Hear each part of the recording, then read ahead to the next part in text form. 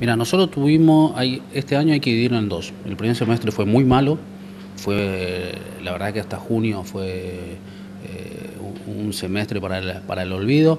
Eh, por suerte, el segundo semestre fue bueno, digamos. Eh, nosotros creíamos que por ahí con las pasos, tema leccionario, por ahí podía ser mucho peor. para la provincia fue un julio excelente, digamos. Sobre todo, bueno, hubo muchos eventos, tanto en la ciudad de Posada como en el interior, ni hablar Iguazú, que es nuestra eh, madre, digamos, eh, es nuestra locomotora que, nos guía con, con, las cataratas.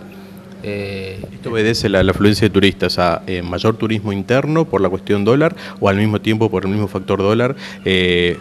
Vecinos, como el caso de los brasileños, que, vienen y que tienen un cambio favorable? Primero que son muchos factores. Segundo que Misiones te ofrece mucho atractivo, digamos.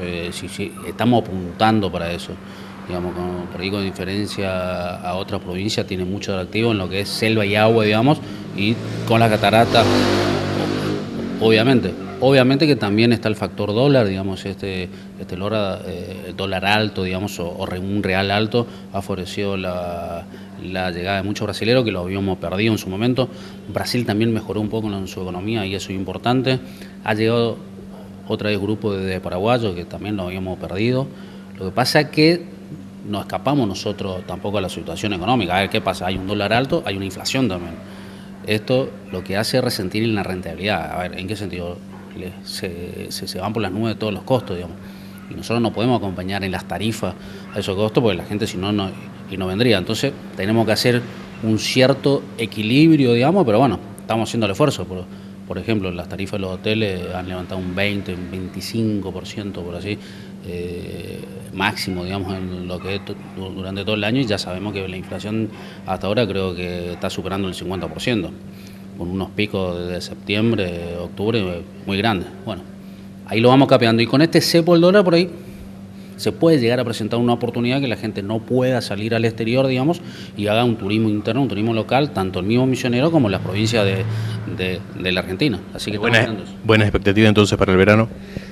Hay una expectativa, como vos decís, está muy bueno que ya se haya resuelto todo, digamos, lo que es electoral, que no por ahí que no haya un balotaje, que todavía lo, vamos, lo íbamos a arrastrar hasta mitad de noviembre, un poco más, digamos, ya, ya, está resuelto, ya sabemos quién va a comandar el país, se están tomando alguna medida, estas medidas son hasta diciembre, o sea, son muy recientes también, no, sabemos si son las únicas medidas, eh, vamos a ver cómo el mercado actúa, digamos, con referente a esto. No te puedo decir sí, así, viste, eh, tajantemente, pero tenemos una cierta expectativa de tener un buen verano, que por suerte Misiones ya no es, antes, el, antes Misiones el verano era una temporada baja, hoy por suerte ya hace varios veranos en una temporada alta. Está muy bueno eso porque le estamos brindando, digamos, muchos servicios. La gente, la gente muere por venir a conocer lo que es la selva, el agua, la ecología, el medio ambiente a nivel mundial, digamos, hay una tendencia de esto y nosotros tenemos todo para ofrecerle.